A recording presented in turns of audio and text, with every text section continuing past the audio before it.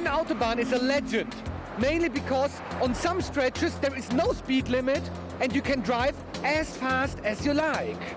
Some people actually come to Germany from abroad to do just this. So, is the German Autobahn still the place of unlimited freedom and top speeds?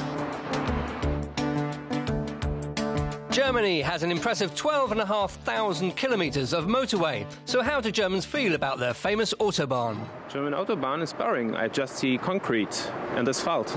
I like it, but I would prefer 130 like a, for a speed limit. Ah, the German Autobahn is great. I like it to have uh, enough speed there. The unique feature of the Autobahn is that on parts of it there's no speed limit. Aside from Afghanistan, Somalia, and Nepal, Germany is the only country in the world that allows you to put your foot to the floor. Officially, two thirds of the Autobahn has no speed limit. Is it going to stay that way?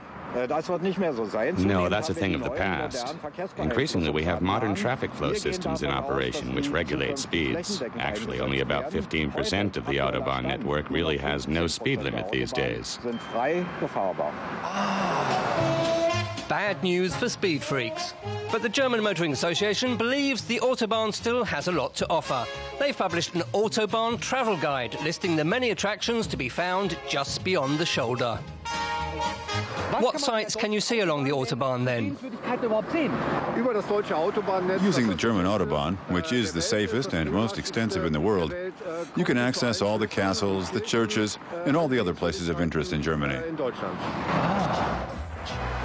Wow, a vacation on the German Autobahn. I must try this for myself.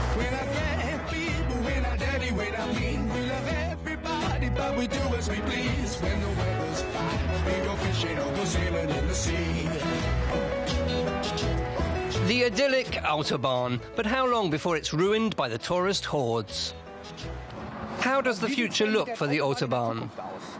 The volume of traffic is constantly increasing, up 45% in just the last few years. So the network is being extended. 1,500 kilometers of new Autobahn are on the way, and 3,500 kilometers are being widened to three or four lanes. The Autobahn is unstoppable. Time perhaps for some driving instruction.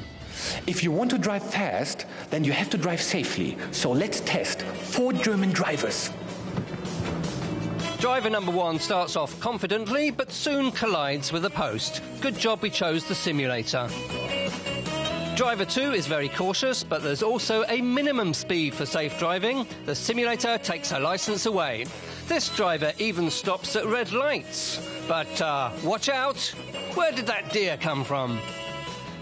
Finally, it's Roadhog time. 0 to 180 in just a few seconds. But then he skids in the rain overtakes on the wrong side and smashes into the crash barrier. That was some pretty dismal driving. German roads are definitely better than German drivers. Summing up, the days of unlimited freedom to drive at ridiculous speeds on German autobahns are over. But driving fast is dangerous, so why not take your foot off the gas and enjoy all the wonderful sights and places of interest along the way? The search goes on, the search for the truth about Germany.